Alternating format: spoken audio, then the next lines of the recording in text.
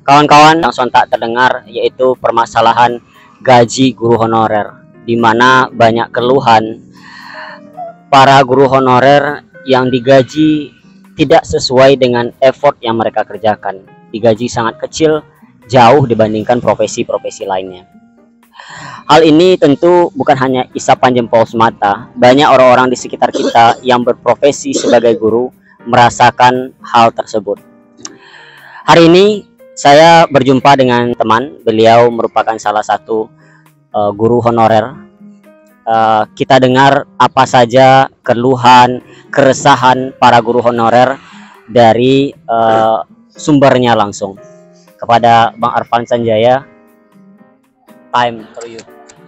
Baik, terima kasih Bang Rio yang selalu semangat setiap Selasa pagi memberikan kata-kata motivasi yang terbaik. Hari ini kita bicara tentang guru honorer ya. Bicara tentang guru honorer itu memang sangat miris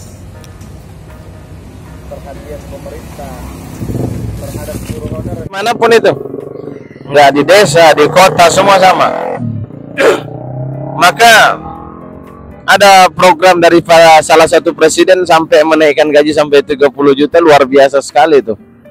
Sepakat dengan itu. Kayak kalau guru pada sepakat itu. Ada senang dengarnya itu. Cuman ya itu tadi perhatian pemerintah terhadap guru itu sangat sangat sangat apa ya miris banyak mereka berjuang apalagi sekarang ini ngajar tantangannya banyak sekali generasi Gen Z ini kita lihat ada seorang guru Pak Akbar yang gara-gara memerintahkan anak muridnya sholat kemudian tidak mau dan anak tersebut dihukum maka beliau dilaporkan kemudian di sidang. Tapi dipenjarakan dan denda luar biasa.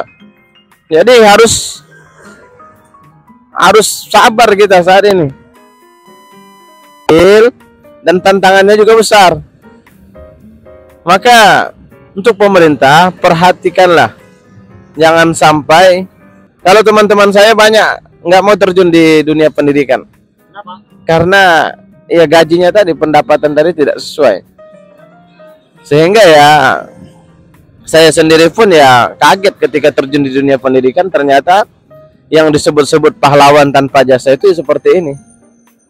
Di mana kita berangkat dari pagi pulang sore meninggalkan anak-anak meninggalkan anak istri kan pergi berangkat dengan tujuan mencerdaskan anak bangsa akan tetapi keluarga kita terbengkalai. Karena hasil yang kita dapatkan tidak sesuai